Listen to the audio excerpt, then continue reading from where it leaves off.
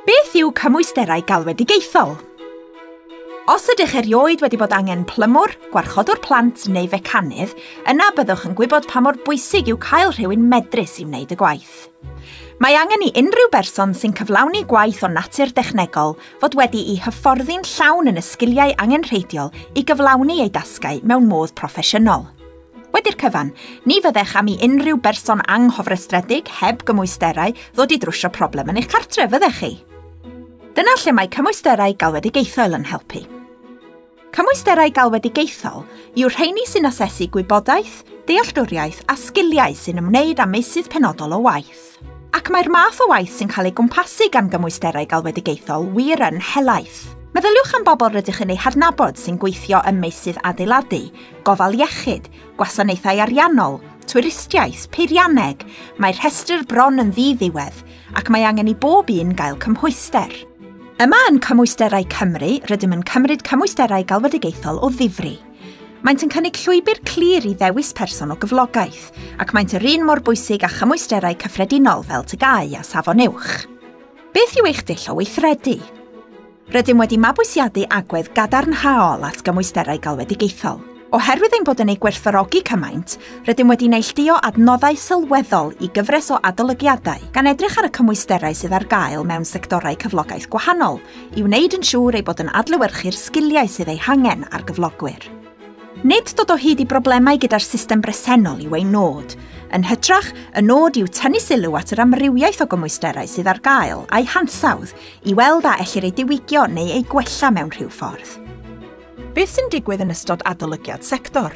O fewn pob adolygiad sector, anelwn at ddeall y tirlun cymwysterau yn y sector, clywed barn y bobl yr effeithir arnynt yn uniongyrchol p'un ai ydynt yn ddysgwyr, tiwtoriaid neu'n gyflogwyr, Ystyried i ba raddau y mae'r cymwysterau a'r system gymwysterau yn addas i'r diben.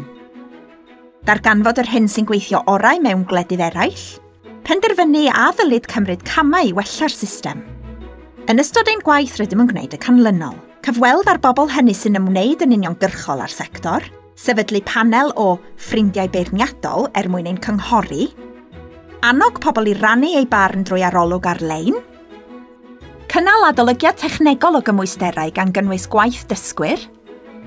Cynnal astudiaeth gymharu ryngwladol o ddesg.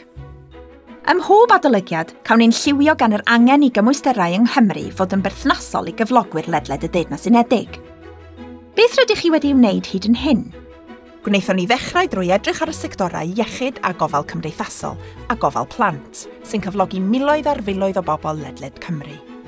Roeddem yn gwybod o'r dechrau bod yn bwysig cydweithio'n agos a chyflogwyr, darparwyr hyfforddiant a dysgwyr drwy gydol y broses. Roedd e am wybod beth oeddent yn meddwl am y system gymwysterau bresennol a gofyn am ei syniadau ar sut i wella pethau. Arweiniodd y cyfnod eang hwnnw o ymgynghori at leihau nifer y cymwysterau cymeradwy yn y sector o fwy na 240 i gyfres o 19 yn unig wedi cynllunio'n benodol i ddiwallu anghenion dysgwyr a chyflogwyr yng Nghymru. Beth nesaf?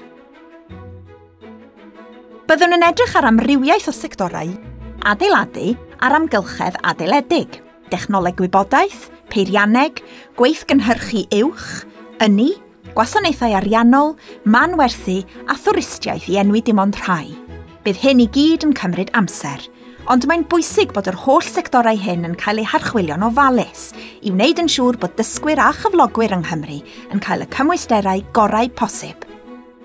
Am ragor o wybodaeth am ein hadolygiadau sector neu am gymwysterau galwedigaethol yn gyffredinol, ewch i wefan Cymwysterau Cymru.